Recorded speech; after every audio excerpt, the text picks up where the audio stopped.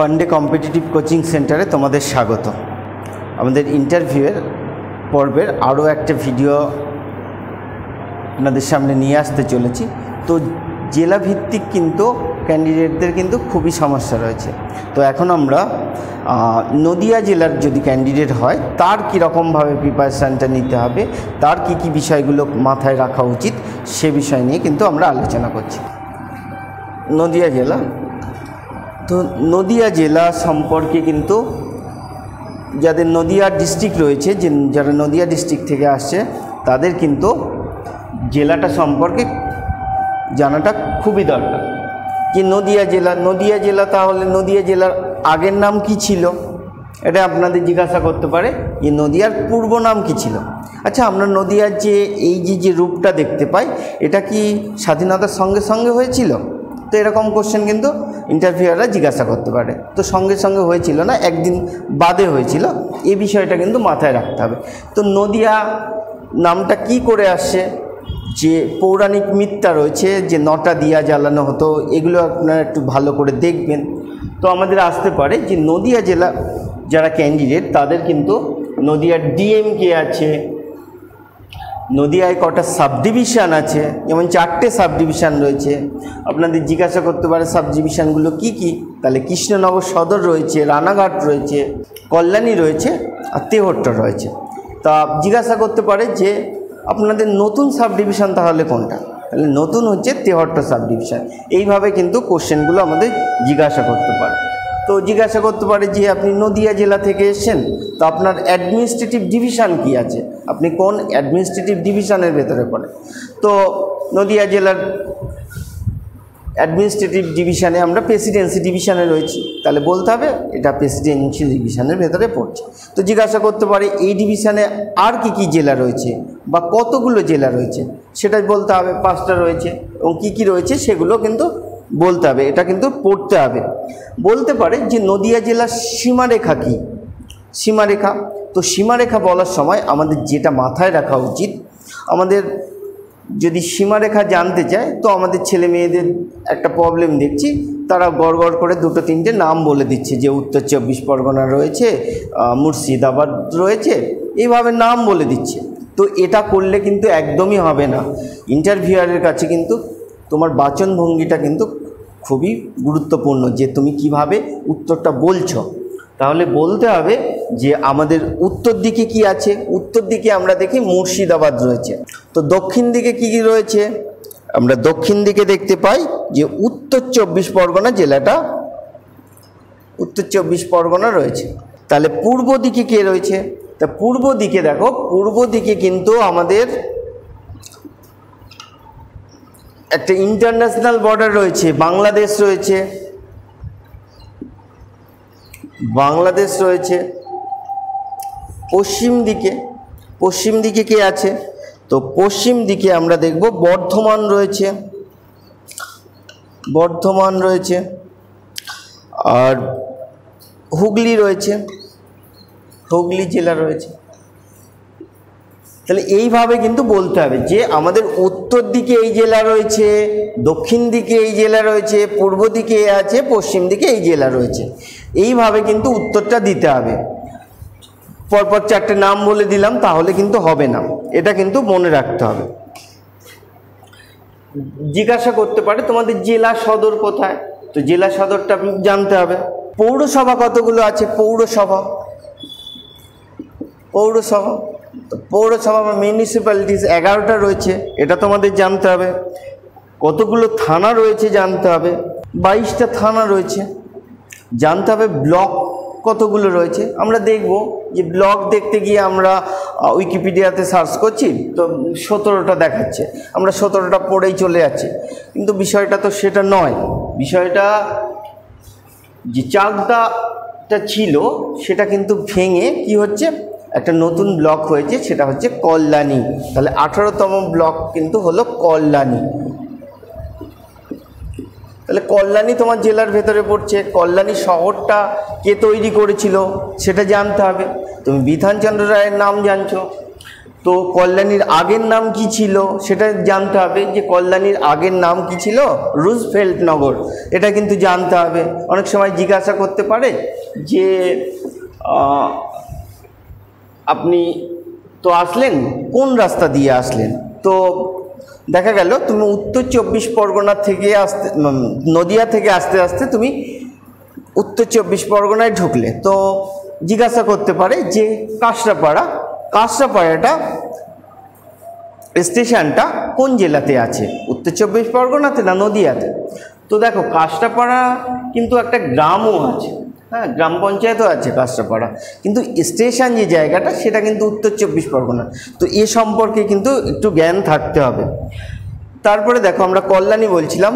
তো কল্যাণী কিন্তু দ্বিতীয় বিশ্বযুদ্ধের সময় কি ছিল? এটা আমেরিকার সেনাঘাঁটি ছিল।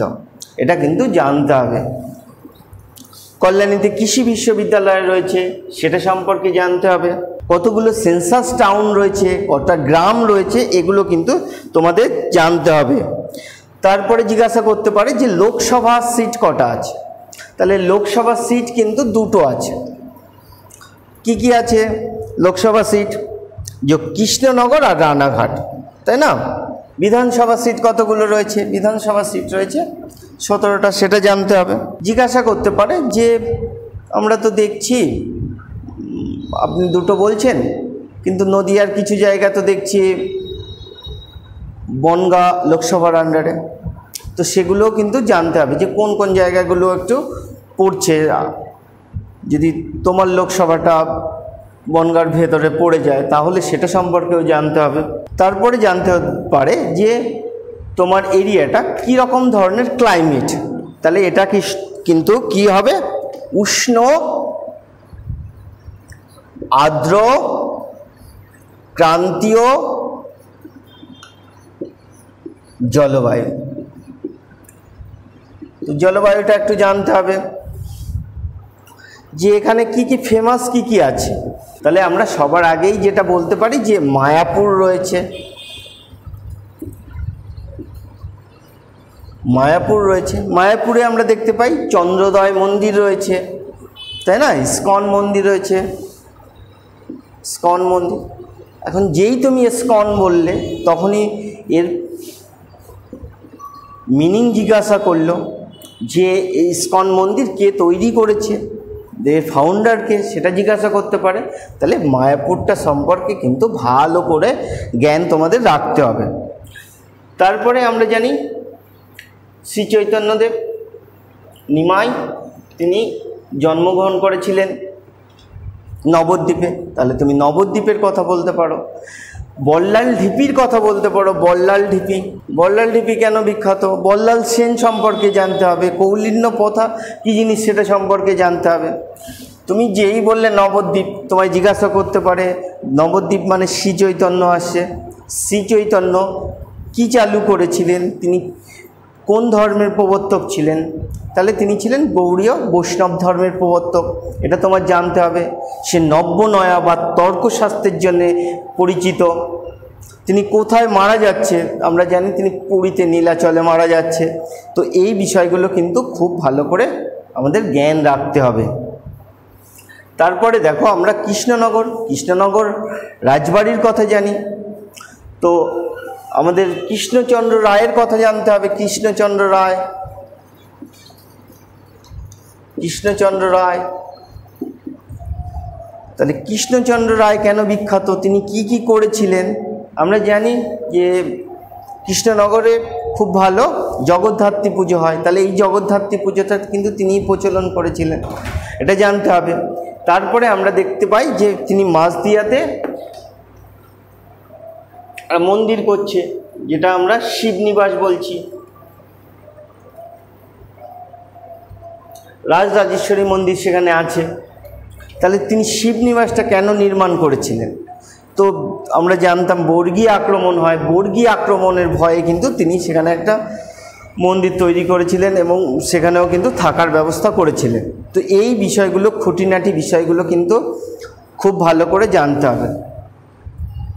তারপরে আমরা দেখি আমাদের কি আছে? বেথুয়া ডোয়ারি ফরেস্ট রয়েছে। তাহলে বেথুয়াডুয়ারি ফরেস্টটা কেন বিখ্যাত? সেটা জানতে হবে।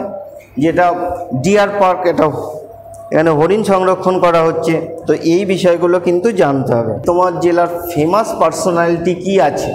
ফেমাস পার্সোনালিটি কি আছে? সেটা কিন্তু তোমার ভালো করে দেখতে হবে। ফেমাস পার্সোনালিটি বলতে গিয়ে তোমার কীর্তিবাস ওঝার কথা বলতে হবে। কীর্তিবাস ওঝা কীর্তিবাস ওঝা কী করেছিলেন সেটা তোমার জানতে হবে। যে বাংলায় তিনি রামায়ণ রচনা করেছিলেন। তাছাড়া শ্রীরাম পাঁচালির কথা আমরা জানি শ্রী শ্রীরাম পাঁচালিটাও তিনি করেছিলেন। তো এই কীর্তিবাসের নামে একটা গ্রাম তৈরি করা হয়েছে ফুলিয়াতে সেটা জানতে হবে। তারপরে তোমায় জিজ্ঞাসা করতে পারে দ্বিজেন্দ্রলাল রায়। দ্বিজেন্দ্রলাল রায় কিন্তু নদিয়ার একজন ফেমাস পার্সোনালিটি তিনি একজন নাট্যকার। তিনি কবি ছিলেন, আমরা জানি ধনধান্যে পুষ্পে ভরা তার লেখা, তাই না? তাহলে তার কি কি নাটক ছিল? সাধারণত সে ঐতিহাসিক নাটকই লিখত, সে কিছু নাটকের নাম তোমাদের জানতে হবে। তারপরে কি আসতে পারে? যে অবিভক্ত নদিয়াতে কিন্তু তখন নদিয়ার পাঁচবেরিয়াটা হচ্ছে নদিয়ার আন্ডারে ছিল, সেখানে দীনবন্ধু মিত্রের জন্ম হয়েছিল। দীনবন্ধু মিত্রের কথা ভালো করে জানতে হবে। দীনবন্ধু মিত্র যখন জানছো, তখন তোমার নীল বিদ্রোহের কথা জানতে হবে। তোমার দীনবন্ধু মিত্রের নাটকগুলোর কথা জানতে হবে। তাই না? তার কি অবদান ছিল সেটা সম্পর্কে জানতে হবে। যে নীল বিদ্রোহের সঙ্গে নদিয়ার থেকে কে কে ছিল সেটা জানতে হবে। তো এই বিষয়গুলো কিন্তু জানতে হবে। তোমার জিজ্ঞাসা করতে পারে যে তোমার জেলায় তো মাটির পুতুল বিখ্যাত শুনেছি। সে মাটির পুতুলটা কোন জায়গাটার থেকে পাওয়া যায়? তার মানে দেখো, তোমার কিন্তু বিষয়টার গভীরে ঢুকতে হচ্ছে যে কৃষ্ণনগরের ঘূর্ণি বলে যে জায়গাটা, সেটার মাটির পুতুল বিখ্যাত। তো ঘূর্ণির মাটির পুতুলের কথা জানতে হবে। তুমি যখন কৃষ্ণচন্দ্রের কথা বলছো, তখন বলল যে কৃষ্ণচন্দ্র যে রাজবংশের থেকে ছিলেন সে রাজবংশের প্রতিষ্ঠাতা কে ছিল? তো ভবানন্দ ছিল। তোমায় গোপাল ভাঁড়ের কথা জানতে হতে। পারে, গোপাল ভাঁড় সম্পর্কে জিজ্ঞাসা করতে পারে। তারপরে দেখো, মায়াপুর শান্তিপুরের কথা জানতে হবে। শান্তিপুর, শান্তিপুরের যে শাড়ি, ফুলিয়ার শাড়ি, সেগুলো সম্পর্কে জানতে হবে। সেখানে জিআই ট্যাগ পেয়েছে কি না, তাহলে কোনটা পেয়েছে? তাছাড়া পশ্চিমবঙ্গের থেকে যেগুলো জিআই ট্যাগ পাচ্ছে, সেটাও তোমার জানতে হচ্ছে। তারপরে তোমার জিজ্ঞাসা করতে পারে যে, তোমার জেলার দুজন বিখ্যাত ঐতিহাসিক, যারা হিস্ট্রিক্যাল ইভেন্টের সঙ্গে যুক্ত সেরকম দুটো নাম বল। বা ইতিহাস বইয়ে তাদের কথা আমরা পড়ছি, এরকম দুজন ঐতিহাস মানে ফেমাস পার্সোনালিটির নাম বলো। তখন আমরা বলতে পারি বসন্ত বিশ্বাসের কথা। বসন্ত বিশ্বাস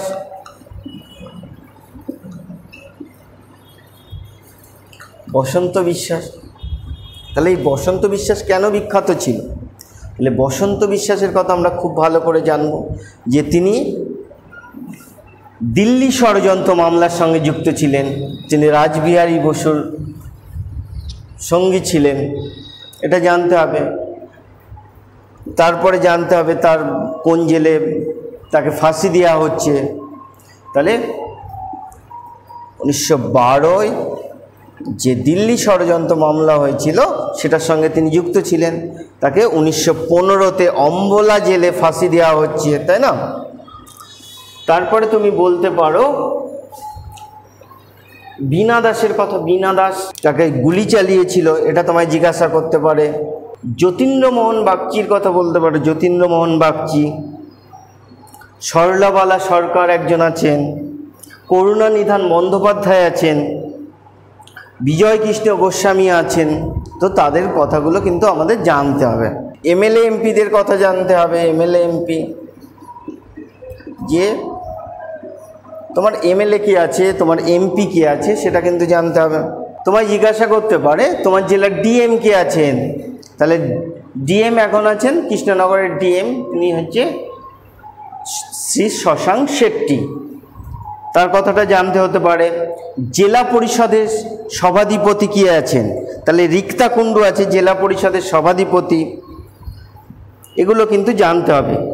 কৃষ্ণনগরের এসপি কে আছেন সেটা জানতে হবে। কৃষ্ণনগরের এসপি এখন ঈশানী পাল। এই নামগুলো কিন্তু জানতে হবে। তোমার কিন্তু ডিএম সম্পর্কে জানতে হবে, বিডিও জানতে হবে, এসপি জানতে হবে, এসডিও জানতে হবে, জেলা পরিষদের সভাধিপতির কথা জানতে হবে, এগুলো কিন্তু তোমাদের জানতে হবে। তারপরে দেখো, আমরা দেখতে পাই tropic of Cancer. Tropic of Cancer, কর্কট ক্রান্তি রেখা। কর্কট ক্রান্তি রেখা সম্পর্কে জানতে হবে যে কর্কট ক্রান্তি রেখা কিন্তু এখন পাঁচটা ডিস্ট্রিক্টের ওপর দিয়ে যাচ্ছে পশ্চিমবঙ্গে, তাই না? তাহলে যেহেতু তোমার নদিয়ার ওপর দিয়েও যাচ্ছে, নদিয়ার কিন্তু কৃষ্ণনগর কৃষ্ণনগর আর ধুবুলিয়া কৃষ্ণনগর আর ধুবুলিয়ার ভেতর দিয়ে যাচ্ছে, সেটা কিন্তু তোমার জানতে হবে। তাহলে কর্কট ক্রান্তি রেখাটা কিন্তু যে নদিয়াতে আছো, তার কিন্তু ভালো করে জানতে হবে। তাহলে এই বিষয়গুলো কিন্তু ভালো করে দেখবে। আজ যেটা দেখবে, সেটা হচ্ছে যে নদিয়া জেলার সমস্যা কি? নদিয়া জেলায় কি সমস্যা রয়েছে? তাহলে দেখো, নদিয়া জেলা, এই কোশ্চেনটা কিন্তু ইন্টারভিউয়াররা প্রায়শই জিজ্ঞাসা করে থাকে যে নদিয়া জেলার সমস্যাটা কী? তোমার জেলার সমস্যা কী? তাহলে নদিয়া একটা বর্ডার স্টেট তাই না? এটা একটা সীমান্তবর্তী এলাকা। তো বাংলাদেশের সঙ্গে বর্ডার শেয়ার করছে। তাহলে বর্ডার শেয়ার করলে কী ধরনের সমস্যা হতে পারে? যে অবৈধ অনুপ্রবেশের সমস্যা রয়েছে, তাই না? ডেন্সিটির কত? ডেন্সিটিটা জানতে হচ্ছে। জনঘনত্ব এখন কত? এটা কিন্তু জানতে হবে। তাহলে অনুপ্রবেশের সমস্যা স্মাগলিংয়ের একটা সমস্যা রয়েছে। তাহলে আমরা দেখছি যে ট্যাক্স ফাঁকি দিয়ে জিনিসপত্র এদেশ থেকে ওদেশে নিয়ে যাচ্ছে। তাহলে এটা যেরকম দেশের সমস্যা, সেরকম জেলার সমস্যা। তাহলে এই প্রবলেমটার কথা তোমরা বলতে পারো। আর কি বলতে পারি? আর বলা যেতে পারে যে নদিয়া জেলার প্রতিটা ব্লকে, প্রতিটা ব্লকের সবচেয়ে বড় সমস্যা হচ্ছে যে পানীয় জল, পানীয় জলে কিন্তু আর্সেনিকের সমস্যা রয়েছে। তাহলে বিশুদ্ধ পানীয় জলের অসুবিধা রয়েছে। যে পানীয় জলে আমরা দেখছি আর্সেনিক আর্সেনিকের পরিমাণ মাত্রাতিরিক্ত। আর কি আছে? ফ্লুরাইডের পরিমাণটাও বেশি। তাহলে আর্সেনিক আর ফ্লুরাইডের সমস্যাটা দেখতে হবে। যে জলে এগুলো বেশ, পরিমাণ বেশি পানীয় জলের সমস্যা রয়েছে। আর কি বলা যেতে পারে? নদিয়া জেলার আমরা যেটা দেখি তাঁত শিল্পের জন্য বিখ্যাত, তাই না? শান্তিপুর রয়েছে, ফুলিয়া রয়েছে, তো লোকালিও কিছু তাঁত শিল্প রয়েছে, তো সেগুলো কিন্তু ধীরে ধীরে রুগ্ন হয়ে যাচ্ছে। সেগুলোর পুনরুজ্জীবন ঘটানো যায়, এটা একটা সমস্যা বলা যেতে পারে। তারপরে যে অসুবিধাটার কথা বলা যেতে পারে, যে এখানে শিক্ষার হার তুলনামূলক অনেকটাই কম, তো শিক্ষার হারটাকে আরও বাড়ানো যায়, তাহলে এই সমস্যাগুলোর কথা কিন্তু তোমরা বলতে পারো। তো তোমরা আমাদের ইন্টারভিউ ক্লাসে অংশগ্রহণ করো। আমাদের মক ইন্টারভিউ চলছে। আমাদের ইন্টারভিউয়ের ক্লাসগুলো নিয়ে কিন্তু তোমরা অনেকটাই হেল্প পেতে পারো। আর ইন্টারভিউ মক ইন্টারভিউ ছাড়া কিন্তু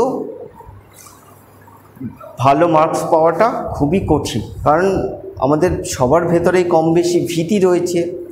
সেই ভীতিটা কাটিয়ে ওঠাটা কিন্তু খুবই জরুরি। তোমার জ্ঞানের পরীক্ষা তো আগেই হয়ে গেছে। এখন কিন্তু তোমায় দেখবে তোমার পার্সোনালিটি তো পার্সোনালিটি কী করে ডেভেলপ করা যায়, সেগুলো কিন্তু আমরা মক ইন্টারভিউয়ের মাধ্যমে তোমাদের শেখাচ্ছি। তোমরা আমাদের ক্লাস জয়েন করতে পারো। থামলেনে দেওয়া নাম্বার দেখে যোগাযোগ করো। আশা করি তোমাদের অনেকটাই হেল্পফুল হবে। ধন্যবাদ।